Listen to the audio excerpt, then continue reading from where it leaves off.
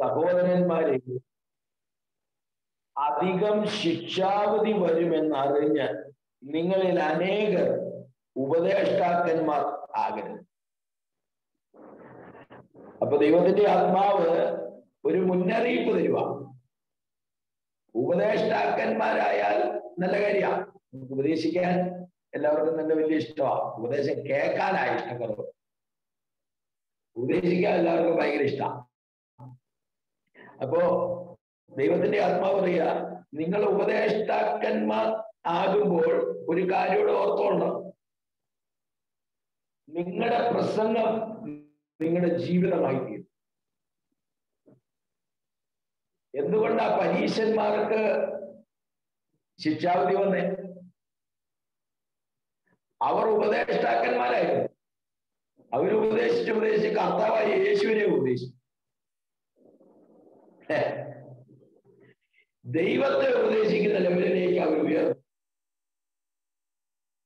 അവർക്ക് ശിക്ഷാവിധിക്ക് അത് കാരണമായി തീർന്നു എന്ന് അതിന് നാം മനസ്സിലാക്കേണ്ട ഒരു കാര്യം ദൈവത്തിന്റെ ആത്മാവ് നമ്മെ ഉപദേശിക്കുവാനും പ്രസംഗിക്കുവാനും അയക്കുമ്പോൾ നമ്മുടെ ജീവിതം ദൈവത്തിന്റെ ഉപദേശപ്രകാരം അനുസരണത്തിനായി നമ്മെ തന്നെ സമർപ്പിക്കുന്ന ഒരു അനുഭവം നമ്മുടെ ജീവിതത്തിൽ ഉണ്ടാകണം. ഇവിടെയാണ് പല ഉപദേശ ഉപദേശകന്മാർക്കും തെറ്റിപ്പോകുന്നത്. അവർ മറ്റുള്ളവരെ ഉപദേശിക്കും. പക്ഷേ അവർ ഉപദേശം കേൾക്കുക ഈ അധ്യാപകന്മാരെ ഒരു കാര്യം പറഞ്ഞു മനസ്സിലാക്കാൻ വലിയ പാടാ. അവർ എല്ലാരും പഠിപ്പിച്ച് പഠിപ്പിച്ച് അവർക്ക് പഠിക്കുന്നത് ഇഷ്ടമാണ് അവർക്ക് പഠിപ്പിക്കാൻ മാത്രമേ അറിയത്തുള്ളൂ. ദൈവത്തിന്റെ ആത്മാവ് പറയുകയാണ് അങ്ങനെയുള്ളതായ ഒരു വ്യക്തികളാകാൻ ദൈവം നമ്മെ കുറിച്ച് ആഗ്രഹിക്കുന്നില്ല. അതുകൊണ്ടാണ് നാം യേശു ക്രിസ്തുവിന്റെ ശിഷ്യന്മാരായിരിക്കുന്നത്.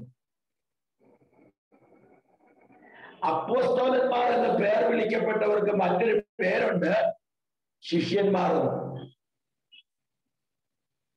അതെപ്പോഴും നമ്മൾ ഓർക്കണം. നമ്മൾ എത്ര വലിയ ഉപദേശകനായാലും എത്ര വലിയ പ്രസംഗകനായാലും നമ്മൾക്കൊരു പേരുണ്ട് യേശുവിന്റെ ശിഷ്യന്മാർ. ആ ശിഷ്യത്വം നമ്മളിൽ നിന്ന് നീങ്ങിപ്പോയാൽ അത് നമ്മുടെ വീഴ്ചയ്ക്ക് കാരണമായി ദൈവാത്മാവ് നമ്മളോട് പറയുക നമ്മൾക്ക് ഉപദേശിക്കുന്നതിന് കുഴപ്പമില്ല. ഉപദേശിക്കുന്ന നമ്മെ നാം ദൈവസന്നിധിയിൽ ചെന്ന് നിൽക്കുമ്പോൾ ആ ഉപദേശം നമ്മുടെ ജീവിതവുമായിട്ട് എങ്ങനെയായിരുന്നു എന്ന് കർത്താവ് ചോദിക്കും നമ്മളോട്. നമ്മൾ ക്രിസ്തുവിന്റെ ശിഷ്യന്മാരാണ്. ക്രിസ്തു നമ്മളോട് സംസാരിക്കുമ്പോൾ അവന്റെ വാക്കുകളെ കേൾക്കുന്ന ആ ഉപദേശത്തിന് അവന്റെ വാക്കുകൾക്ക് ചെവി ചായിക്കുന്ന ഒരു ഹൃദയം നമുക്ക് ഉണ്ടായിരിക്കണമെന്ന് പരിശുദ്ധാത്മാവ് നമ്മളെ മുന്നറിയിക്കുകയാണ്. അപ്പോ യാക്കോ പറയാ എന്ന യാക്കോബ് ഇത് പറയാൻ കാരണം എന്താണെന്നറിയാവോ? യാക്കോബ് ആരായിരുന്നു? യേശുവിന്റെ കോബ്രദറായിരുന്നു. അല്ലേ? അപ്പോ യാക്കോബ് യേശുവിനെ കുറെ ഉപദേശിച്ചതാ. എടാ നമുക്കൊരു ന്യായപ്രമാണമുണ്ട്. നമ്മുടെ പ്രമാണപ്രകാരം അല്ലാതെ നീ ആവശ്യമില്ലാത്ത കാര്യമൊക്കെ പറഞ്ഞുകൊണ്ട് നടക്കരുത്. ഇത് പറഞ്ഞിട്ട് കേൾക്കാതെ വന്നപ്പോ അടുത്ത എന്തായതെന്നറിയാമോ നീ പ്രസിദ്ധനാകണമെങ്കിൽ അവിടെ പെരുന്നാൾ കിടക്കുന്നുണ്ട് അവിടെ സ്റ്റേജ് ഇട്ടേച്ച് നീ പോയിട്ട് എന്ത് ചെയ്യണം. ഈ പറഞ്ഞ പരിപാടിയൊക്കെ ചെയ്യണം. ഇങ്ങനെയൊക്കെ യാക്കോബ് പല നിലവാരത്തിൽ എന്ത് ചെയ്തതാ യേശുവിന് ഉപദേശിച്ചതാ നീ ആത്മാവിൽ നടക്കുന്നവനാണെങ്കിൽ പരിശുദ്ധാത്മാവിന്റെ വചനം കേട്ട് പരിശുദ്ധാത്മാവിന്റെ ഉപദേശത്തിന് കീഴടങ്ങി നീ ശുശ്രൂഷിക്കുന്ന വ്യക്തിയാണെങ്കിൽ ജഡത്തിൽ നടക്കുന്ന സഹോദരന്മാരെന്ന് പറയുന്ന ചിലർ നിന്റെ അടുക്കൽ വന്ന് നിന്നോട് ചില ഇങ്ങനെയുള്ള ഉപദേശങ്ങളുമായിട്ട് അവർ വരും. അവിടെ ക്രിസ്തു കാണിച്ച മാതൃകയായിരിക്കണം നിന്റെ ഹൃദയത്തിൽ ഉണ്ടാകണം. മനസ്സിലായോ? അപ്പോ ഒന്ന് ഉപദേശകൻ ഉപദേശം സ്വീകരിക്കുന്നവനായിരിക്കണം. അവൻ ക്രിസ്തുവിന്റെ ശിഷ്യൻ എന്നുള്ളതായ ബോധ്യം അവന്റെ അകത്തുണ്ടാകണം. ഉപദേശം ക്രിസ്തുവിന്റെ ശിഷ്യൻ ഉപദേശം സ്വീകരിക്കുന്ന വ്യക്തിയാണെങ്കിൽ അവന്റെ അടുക്കൽ ജഡത്തിൽ സഹോദരൻ എന്ന് പേർ പെട്ടവൻ എന്ന് പറഞ്ഞാൽ പൗലോസപ്പത്തിനും പറയുന്നുണ്ട് ജഡത്തിൽ യഹൂദനായവനല്ല ഒരു വാക്കിയില്ലേ അങ്ങനെ വാക്കിൽ ജഡപ്രകാരം യഹൂദനായവനല്ല യഹൂദൻ? അല്ലേ? എന്ന് പറഞ്ഞ സന്തതി പരമ്പരയായിട്ട് യഹൂദൻ എന്ന് പേർ വിളിക്കപ്പെട്ടവനല്ല യഥാർത്ഥ യഹൂദൻ. ആത്മാവിൽ യഹൂദനായവനായ യഹൂദൻ. അല്ലേ? അങ്ങനെ ഒരു വാക്യം റോമാലേഖനത്തിലാന്ന് തോന്നുന്നു ഞാനത് എന്റെ ഓർമ്മയിൽ വരും. ഞാൻ വാക്യം ഒന്ന് വായി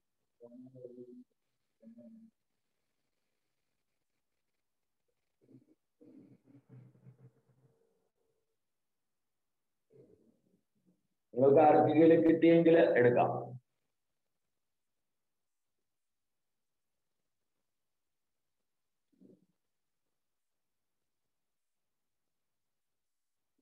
ആ റോമാലേഖനം രണ്ടാം അധ്യായം. അതിന്റെ ഇരുപത്തി ഏഴാമത്തെ വാക്യം ഞാൻ വായിക്കാം. അഗ്രചർമ്മിയായവൻ ന്യായപ്രമാണം അനുഷ്ഠിക്കുന്നുവെങ്കിൽ അക്ഷരവും പരിച്ഛേദനയുള്ള ന്യായപ്രമാണമായി തന്നെ അവനെ അവൻ വിരിക്ക വിരിക്കുകയല്ലയോ? പുറമെ ആ സോറി ജനപ്രകാരമല്ല വാക്യം ഇങ്ങനെയാണ്. പുറമെ യഹൂദനായവൻ യഹൂദനല്ല. പുറമെ ജനത്തിലുള്ളത് പരിച്ഛേദനയുമല്ല. അകമേ യഹൂദനായവൻ എന്നൊരു യഹൂദൻ? അർത്ഥം മനസ്സിലായോ? ക്രിസ്തുവിന്റെ സഹോദരൻ എന്ന പേർ പെടണമെങ്കിൽ നീ പുറമേ സഹോദരനായതുകൊണ്ട് കാര്യമില്ല. അകത്ത് ക്രിസ്തുവിന്റെ സഹോദരനായി മാറണം. ഇതാ മർമ്മം. അപ്പൊ യാക്കോബ് യേശുവിനെ പുറമേ കുറെ തിരുത്താൻ ശ്രമിച്ചതാ. മറിയയും അവന്റെ സഹോദരന്മാരും വന്ന് യേശുവിനെ പിടിച്ചോണ്ട് പോകാൻ വേണ്ടി വന്ന. കാരണം അവന് വട്ട എന്നുള്ള ചിന്തയിലാണ് അവർ വന്നേ. അപ്പൊ നമ്മുടെ കർത്താവിനെ ഇങ്ങനെ പിടിച്ചുകൊണ്ട് പോകുവാൻ വന്നിട്ട് അത് നടക്കാതെ വന്നപ്പോഴാണ് അവന് നീ പ്രസിദ്ധനാകാൻ വേണ്ടി ഇങ്ങനെ ചെയ്യാൻ ഈ ജഡത്തിലായ വിശ്വാസവും ജഡത്തിലായ യഹൂദനും ഈ നിലവാരത്തിനാ പെരുമാറുക. അപ്പൊ ദൈവത്തിന്റെ ആത്മാവ് പറയുന്നു നാം എല്ലാവരും പലതിലും തെറ്റിപ്പോകുന്നു. കണ്ടോ? നമ്മുടെ കാഴ്ചപ്പാട് പലതിലും എന്ത് ചെയ്യുക? യാക്കോന് മനസ്സിലായി. യേശുക്രിസ്തുവിന്റെ ആത്മാവ് അകത്ത് വന്നപ്പോ പുള്ളി പറയാ ഞാൻ പലതിലും അന്ന് തെറ്റിയാർന്നു എന്ന്. അതുകൊണ്ട് പുള്ളി ലേഖനം എഴുതിയപ്പോ എങ്ങനെ എഴുതിയെന്നറിയാമോ അതിന്റെ ഇൻട്രൊഡക്ഷൻ തുടക്കത്തിൽ എങ്ങനെ അഭിസംബോധന ചെയ്തെങ്ങനെയെന്നറിയാമോ ദൈവത്തിന്റെയും കർത്താവായ യേശു ക്രിസ്തുവിനെയും ദാസനായ എഴുതുന്നു കണ്ടോ? യൂത ഇതിലും ബുദ്ധിമാനാ. പുള്ളി ലേഖനം എഴുതിയപ്പോ പുള്ളി അടുത്ത് എഴുതി എന്താണെന്നറിയാമോ യേശു ക്രിസ്തുവിന്റെ ദാസനും യാക്കോബിന്റെ സഹോദരനുമായ യൂത എഴുതി അപ്പോ അവരുടെ അകത്ത് യേശു വന്നു കഴിഞ്ഞപ്പോ ആത്മാവിനാൽ ക്രിസ്തു അവരിൽ വെളിപ്പെട്ടപ്പോൾ അവർ ജഡപ്രകാരമുള്ള ബന്ധം മാറ്റി. ക്രിസ്തുവുമായിട്ടുള്ള ബന്ധം ദൈവത്തിന്റെ വചനവുമായിട്ടുള്ള ബന്ധം അത് ജഡപ്രകാരമായിരിക്കരുതെന്ന് പരിശുദ്ധാത്മാവ് പറയുക. അതുകൊണ്ടാണ് യാക്കോബുസ്വരം പറഞ്ഞ് "ഏ, നമ്മളെ പല കാര്യത്തിലും എന്ത് ചെയ്യുക? നമ്മൾ തെറ്റിപ്പോവുക. നമ്മുടെ അറിവില്ലായ്മ കൊണ്ട് ജഡപ്രകാരം നാം ചെയ്യുന്നത് നിമിത്തമാണ് നാം തെറ്റിപ്പോകുന്നത്. ഒരുത്തൻ വാക്കിൽ തെറ്റാതിരുന്നാൽ അവൻ ശരീരത്തെ മുഴുവനും കടിഞ്ഞാണിട്ട് നടത്തുവാൻ ശക്തനായി സൽഗുണപൂർത്തിയുള്ള പുരുഷനാകും. അപ്പൊ ദൈവത്തിന്റെ ആത്മാവ് പറയുന്നു നമ്മളിത് പലപ്പോഴും ഈ വചനം ചിന്തിച്ചിട്ടുള്ളതാണ്. വാക്കിൽ തെറ്റാതിരുന്നാൽ. അപ്പൊ കർത്താവ് ഈ വാക്ക് അവിടെ പറയണമെന്നുണ്ടെങ്കിൽ യാക്കോബിനെ കൊണ്ട് പറയണമെന്നുണ്ടെങ്കിൽ യാക്കോബ് വാക്കിൽ തെറ്റിയതായ മേഖലയിൽ നിന്ന് യേശു അവനെ വിടിവിച്ചതുകൊണ്ടാണ് അപ്പോൾ വാക്കിൽ തെറ്റാതിരിക്കണമെങ്കിൽ യേശുവിനാൽ നാം വിടുവിക്കപ്പെടണം. നമ്മളായിട്ട് വിടുവൽ വിടുതൽ അനുഭവിക്കുമല്ല അല്ലെങ്കിൽ നമ്മളായിട്ട് ആ വാക്ക് നിയന്ത്രിക്കുമല്ല ദൈവത്താൽ നാം എന്ത് ചെയ്യപ്പെടണം? വാക്കിൽ വിടുവിക്കപ്പെടണം. ആ വിഷയത്തിന്മേൽ ദൈവത്തിന്റെ കൈ ക്രിസ്തുവിന്റെ കൈ അവിടെ വെളിപ്പെടണം. നമ്മൾ എപ്പോഴും മനസ്സിലാക്കേണ്ട ഒരു കാര്യം വാക്കിൽ തെറ്റിയാൽ വാക്കിന്റെ നിയന്ത്രണം നഷ്ടപ്പെട്ടു പോയാൽ അത് പാപമായി മാറും അല്ലേ? നമ്മളിൽ പാപം ജനിക്കുക പാപത്തിൽ നിന്ന് പരിഹാരം ലഭിക്കണമെങ്കിൽ എന്റെ വഴിയുള്ളൂ. യേശു ക്രിസ്തുവേ ഉള്ളൂ. വേറെ ആർക്കും നമ്മളെ പാപത്തിൽ നിന്ന് വിടിയിക്കാൻ കഴിയില്ല. അപ്പൊ വാക്കിൽ തെറ്റുന്നതിൽ നിന്ന് എനിക്ക് വിടുതൽ വേണമെങ്കിൽ യേശു ക്രിസ്തു മുഖാന്തരം മാത്രമേ അത് ലഭിക്കുകയുള്ളൂ. എന്റെ നാവ് ഞാൻ പറഞ്ഞാൽ കേൾക്കത്തില്ല. എന്റെ നാവിനെ എനിക്ക് അടക്കാൻ കഴിയുകയില്ല. അതാ യാക്കോ താഴേക്ക് പറഞ്ഞിരിക്കുന്നത്. കുതിരയെ അധീനമാക്കുവാൻ വായിൽ കടിഞ്ഞാണിട്ട് അതിന്റെ ശരീരം മുഴുവൻ തിരിക്കുന്നുവല്ലോ. കപ്പലും എത്ര വലുതായാലും കൊടുങ്കാറ്റടിച്ച് ഓടുന്നതായാലും അമരക്കാരൻ ഏറ്റവും ചെറിയ ചുക്കാൻ കൊണ്ട് തനിക്ക് ബോധിച്ച ദിക്കിലേക്ക് അതിനെ എന്ത് ചെയ്യുന്നു? ഇരിക്കുന്നു. അപ്പൊ ദൈവത്തിന്റെ ആത്മാവ് പറയുന്നു അങ്ങനെ ഇരിക്കുന്നുവെങ്കിൽ നാവെന്ന് പറയുന്ന അവയവത്തെ ശരീരം മുഴുവൻ നിയന്ത്രിക്കുവാൻ തക്കവണ്ണം അതിന്റെ മേലൊരു അധികാരം വ്യാപരിക്കും. ഇതാ ദൈവാത്മാവ് പറയുന്നത്. നമ്മുടെ ശരീരം മുഴുവൻ നിയന്ത്രിക്കപ്പെടും. എപ്പോൾ നാവിൽ ക്രിസ്തുവിന്റെ ആത്മാവ് വ്യാപരിക്കുമ്പോ. കാരണം നമ്മുടെ നാവിലൂടെ ജീവനും മരണവും വ്യാപരിക്കും. യേശു ക്രിസ്തുവിന്റെ നാമത്തിൽ എഴുന്നേറ്റ് നടക്കായെന്ന് സുന്ദരമെന്ന ദേവാലയ ദൈവാത്മാവിൽ പത്രോസ് പറഞ്ഞപ്പോൾ ആത്മാവിൽ ജീവൻ വ്യാപരിച്ചു. നമ്മുടെ നാവിലൂടെ എന്ത് വ്യാപരിക്കും? ജീവൻ വ്യാപരിക്കും.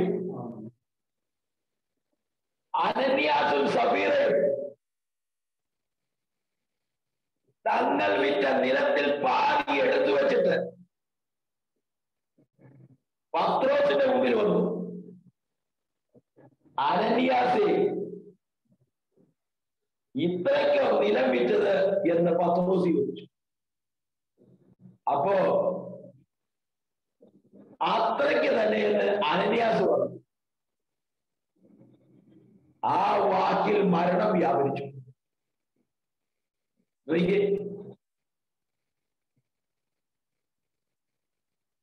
ഒന്നും കൂടെ നിങ്ങൾക്ക് ബോധം വരുത്താൻ വേണ്ടി ഞാൻ പറയാം. യാക്കോബ് ലാബാന്റെ വീട് വിട്ടു പോരുവാണ് പോരുമ്പോൾ ലാബാനെ യാക്കോബ് യാത്രയൊന്നും പറയാതെ പോന്നെ. അങ്ങനെ പുറപ്പെട്ട് ഇങ്ങെത്താറായപ്പോഴത്തേക്കും ലാബാൻ പുറവ്. പുറകെ വന്ന് യാക്കോബിനെ പിന്തുടർന്ന് പിടിച്ചു. അവിടെ വെച്ച് അവർ തമ്മിൽ സംസാരം ഉണ്ടായി സംസാരിച്ചപ്പോ യാക്കോബ് പറഞ്ഞു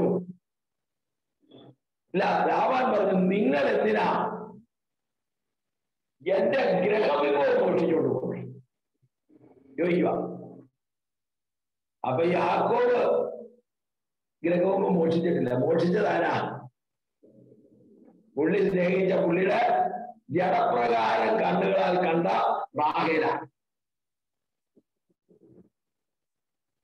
അപ്പൊ യാക്കോവിന് കോപം തിരിച്ചു യാക്കോബ് രാവനോട് പറഞ്ഞു ആരാരെടുത്തോ അവൻ മരിക്കണം? എന്ന് പറഞ്ഞു.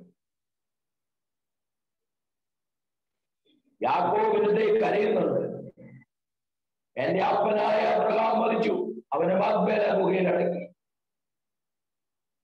എന്റെ പിതാവ് ഇസ്രാഹ് മരിച്ചു. അവനെയും ഗുഹയിൽ ഗുഹയിലടക്കി എന്നാൽ റാഹേലോ അവൾ കരുവേലകത്തിന്റെ ചുവട്ടിൽ അടക്കപ്പെട്ടു.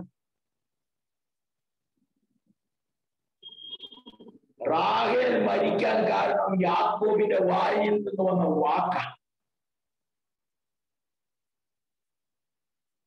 ദൈവങ്ങളെ ഒരു അഭിഷേകം പകരപ്പെട്ടിരിക്കുന്ന ഒരു വ്യക്തിയുടെ നാവിലൂടെ പറയുന്ന വാക്കിനകത്ത് ജീവനും മരണവും വ്യാപരിക്കുന്നുണ്ട്.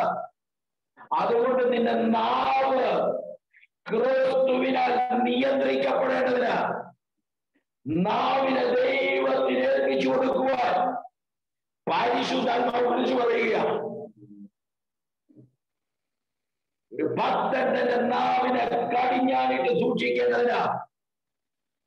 ഞാൻ ചോദിക്കട്ടെ കുതിരയുടെ നാവേൽ വായിക്കകത്ത് കടിഞ്ഞാണിട്ടത് കുതിര തന്നെയാണോ അത് പിടിച്ചേക്കണേ?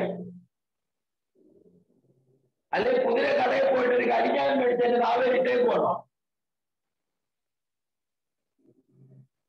അല്ല ദൈവമക്കളെ എന്തിനാ പൗലോസ് അല്ല യാക്കോബ് അത് പറഞ്ഞേ?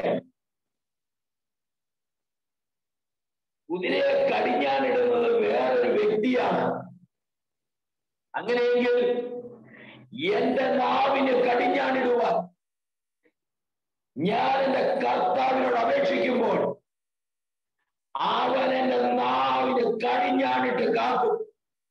യെസ് എന്റെ വായ്പൊരു കാവൽ നിർത്തി. എന്റെ ആദരവാരം കാക്കണമേ എന്ന് ദാവീതും ദൈവത്തോട് പ്രാർത്ഥിക്കുന്നു.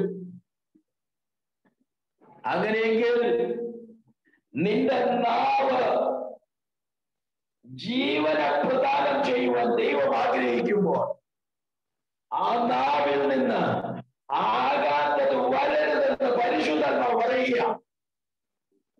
എന്നെ കേൾക്കുന്ന ഭക്തൻ ഉപദേശം പറയുന്നുവെങ്കിൽ അവന്റെ ഉപദേശത്തിൽ ദൈവത്തിന് പ്രവർത്തിക്കുവാൻ ആഗ്രഹമുണ്ട്. ആ ഉപദേശം നീ പറയുമ്പോൾ നിന്റെ നാവ് നിയന്ത്രിക്കപ്പെടണമെന്ന് ആത്മാവ് വിളിച്ചു പറയുക എന്തിനാ ഞാൻ ഇത് പറയുന്നതെന്ന് എനിക്കറിയത്തില്ല. പക്ഷെ ദൈവാത്മാവ് പറയുന്നു നാവ് നിയന്ത്രിക്കപ്പെടേണ്ടത് ദൈവത്തിന് ആവശ്യമാണെന്ന് വീണ്ടും നമുക്ക് മടങ്ങി വരാം. അങ്ങനെ നാവും ചെറിയൊരു അവയവമെങ്കിലും വളരെ വമ്പ് പറയുന്നു. ആ ഈ നാവ് കൊണ്ട് നമ്മളെല്ലാം പറയണേ? ആ വമ്പത്തരം പറയാനായിട്ട്. ഈ നാവിൽ വമ്പത്തരം വരുന്നതിന്റെ കാരണമല്ല ഹൃദയത്തിൽ വമ്പത്തരം ഇരിക്കുന്നോണ്ടാ. അല്ലേ? ഹൃദയം നിറഞ്ഞു കവിയുന്നതല്ലേ? നാവ് സംസാരിക്കുന്നേ? അപ്പൊ നാവിനാൽ നാം വമ്പത്തരം പറയാൻ കാരണം നമ്മുടെ ഹൃദയത്തിനകത്ത് എന്തുണ്ട് വമ്പത്തരം ഇരിക്കുന്നുണ്ട്.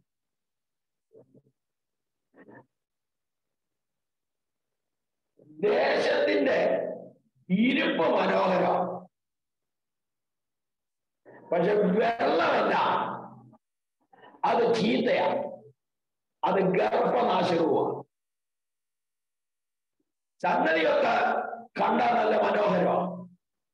പക്ഷെ അതിൽ നിന്ന് പ്രൊഡ്യൂസ് ചെയ്ത് പുറത്തു വരുന്ന വെള്ളം അത് ചീത്തയാണ് ഗർഭനാശവുമാണെന്ന് പ്രവാചകൻ അറിവ് കിട്ടി പ്രവാചകൻ ഒരു തളികയിൽ ഉപ്പ്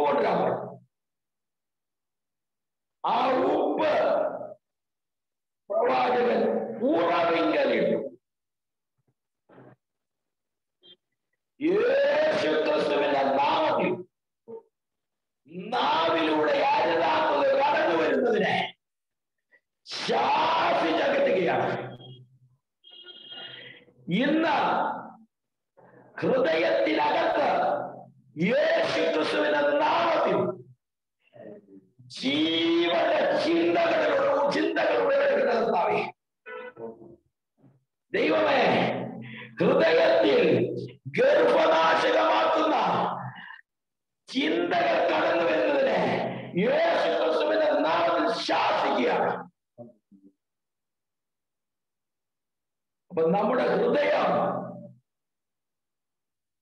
ദൈവിക ജീവനെ ഉളവാക്കുന്നതായിരിക്കണം.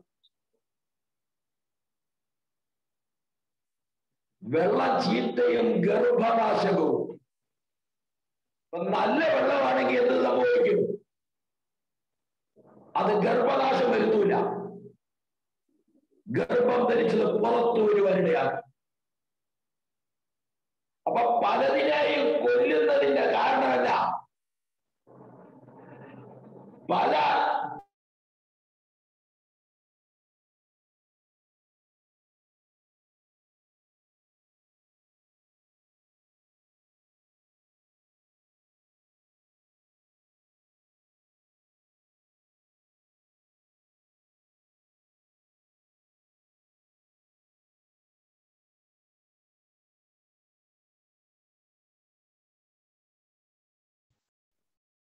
അവ ഗർഭത്തിലെ നശിച്ചു പോകും. ഉപദേശകന്റെ നാവ് നിമിത്തം അത്രയത്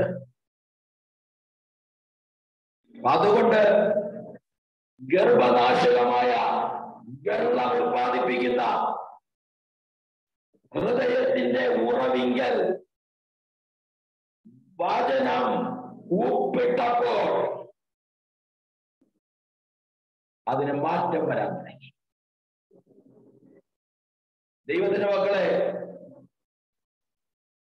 നമ്മുടെ നാവ് ക്രിസ്തുവിന് വേണ്ടിയുള്ളതാണ്. അത് ക്രിസ്തുവിനെ ഘോഷിക്കുവാനുള്ളതാണ്. നമ്മുടെ മക്കളെ നമ്മുടെ പ്രിയപ്പെട്ടവരെ നമുക്ക് നമ്മുടേതായ ആവശ്യങ്ങളെ ഒക്കെ അറിയിക്കാൻ ഈ നാവ് നമുക്ക് ഉപയോഗിക്കാം. ദൈവം അതിനെതിരല്ല പക്ഷേ ഈ നാവ് ക്രിസ്തുവിനുള്ളതാണ്. അത് ക്രിസ്തുവിന് മഹത്വമായി തീരുന്നില്ല എങ്കിൽ അത് ഗർഭനാശകത്തിന് കാരണമായി തീരും.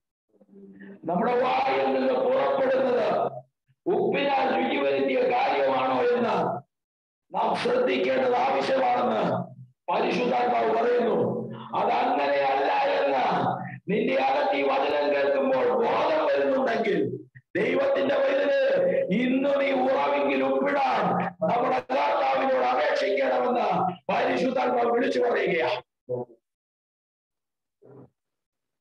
ദൈവത്തിന് സ്തോത്രം. അങ്ങനെ നാളും ഒരു ചെറിയ അവയവെങ്കിലും വളരെ വമ്പ് പറയുന്നു കുറഞ്ഞത്ര ഈ തീ എത്ര വലിയ കാട് കത്തി കണ്ടോ? ചെറിയ തീയാണെങ്കിൽ പോലും അത് വലിയ നാശനഷ്ടങ്ങൾ ഉണ്ടാക്കാൻ സാധ്യതയുണ്ട്. അതുകൊണ്ട് ദൈവാത്മാവ് പറയുന്നു നടുങ്ങുവിൽ പാവം ചെയ്യാതിരിപ്പീൻ.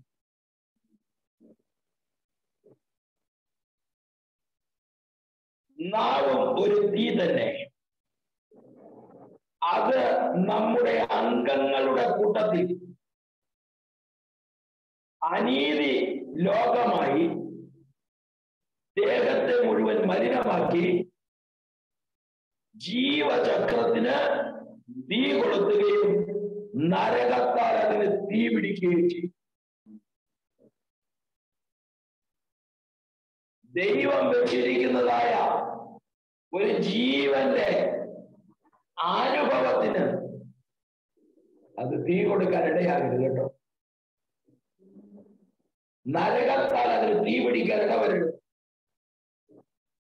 ഞാൻ ഈ വിഷയത്തെ കുറിച്ച് ഒരിക്കൽ ചിന്തപ്പോ ദൈവാത്മാവിനെ പറഞ്ഞു ജീവചക്രം എന്ന് പറഞ്ഞ ഒരു മനുഷ്യന്റെ ആയുസാണ് നൂറ്റി ഇരുപത് വയസ്സ് ആയുസുള്ളതായ ഒരു വ്യക്തി ദൈവം വെച്ചിരിക്കുന്ന ആയുസ് നൂറ്റി ഇരുപത് നമ്മളെ ഏറിയാൽ എഴുപത് എഴുപതൊക്കെ പറഞ്ഞ് നമ്മൾ കുറയ്ക്കുക കാരണം നമ്മുടെ പ്രവൃത്തി നിമിത്തം തന്നെ ജീവചക്രത്തിന് തീ പിടിച്ചു. അപ്പൊ അത് ചെറുതായി. നമ്മുടെ നാവ് തീ പിടിച്ചു. ഇങ്ങനെ നമ്മുടെ വാക്കുകളാൽ അതിന് തീ പിടിച്ച് നമ്മുടെ ആയുസിനെ കുറയ്ക്കുവാൻ ഇടവരുത്തരുത്. നമ്മുടെ ആയുസ് വിലയേറിയതാ ദൈവത്തിന് അവൻ ദീർഘായുസ് കൊണ്ട് നമുക്ക് തൃപ്തി വരുത്താമെന്ന് വാഗ്ദത്തം ചെയ്തിട്ടുണ്ട്. അതിനൊരു ആത്മീകാർത്ഥമുണ്ട് നിത്യതയിൽ അവനോട് കൂടെ വാസം. എന്നാൽ ഭൂമിയിലും ദീർഘായുസ് കൊണ്ട് തൃപ്തിപ്പെടുത്തും എന്തിനാ? ഇവിടെ സമ്പത്തുണ്ടാക്കി മക്കളെയും കൊച്ചുമക്കളെയും ജനിപ്പിച്ച് വലിയൊരു കുടുംബത്തിന്റെ അംഗമായി ജീവിക്കാനാണ്. അതൊക്കെ നടന്നോട്ടെ. നാനോ യഹോവയോട് കൂടെ നടന്നു.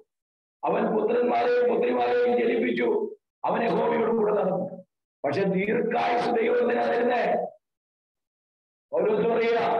എനിക്ക് മരിക്കുന്നത് ലാഭമാ പക്ഷേ ജീവിക്കുന്നത് ക്രിസ്തുവാ അത് ആ ദീർഘായുസ് ക്രിസ്തുവിന് വേണ്ടി. എന്റെ ആയുസ് എത്ര ദീർഘിക്കുന്നുവോ യോഗജ്ഞാനപ്പോത്തോളിന് ആയുസ് ദീർഘിപ്പിച്ചു കൊടുത്തു. അവൻ പത്മോസിലെ ഏകാന്തതയിൽ അവൻ സ്വർഗീയ ദർശനങ്ങളെ പ്രാപിച്ചു ആത്മവിവശതയിൽ അവൻ വെളിപ്പാട് പുസ്തകം എഴുതി. ദീർഘായുസ് പ്രാപിച്ച ക്രിസ്തുവിലെ വചനങ്ങളെ കുറിപ്പാട് ഉപയോഗമായി പത്മത്തിൽ യോഗനാൻ കുടുംബമായിട്ട് ടൂർ പോയതാണോ? അല്ല. യേശുവിന് മഹത്വമായി. യേശുവിന് മഹത്വം ഉണ്ടാകേണ്ടതിന് അവന്റെ ആയുസ് ഉപയോഗിക്കപ്പെടും. അപ്പൊ അങ്ങനെയെങ്കിൽ ദീർഘായുസ് ദൈവം തരുമ്പോൾ അത് ക്രിസ്തുവിനായി തീരണം നാമായിട്ട് ജീവചക്രത്തിന് തീ കൊടുക്കരുത്. നമ്മുടെ കർത്താവ് വാതിൽക്കലായിരിക്കുന്നു. നമ്മുടെ കർത്താവിന്റെ വരവിനായി നമുക്ക് ഒരുക്കാം. മറ്റുള്ളവരെ ഒരുക്കുവാൻ ക്രിസ്തുവിന്റെ ആത്മാവിനാൽ നമുക്ക് തയ്യാറാകാം കർത്താവ് നമ്മെ സ്നേഹിക്കുന്നു. അതുകൊണ്ട് അവൻ നമ്മെ ചെല്ലുന്നു. അതിനാൽ അവൻ നമ്മെ വിടുവിക്കുവാൻ അവന്റെ വാചനം നമുക്ക് തരുന്നു. ഈ വചനത്താൽ ദൈവം നമ്മെ വിടിവിപ്പാൻ ശക്തനെന്ന് ആത്മാവ് നമ്മളോട് അരളി ചെയ്യുക. നമുക്ക് ഏൽപ്പിച്ചു കൊടുക്കാം. നമ്മുടെ കണ്ണുകളിൽ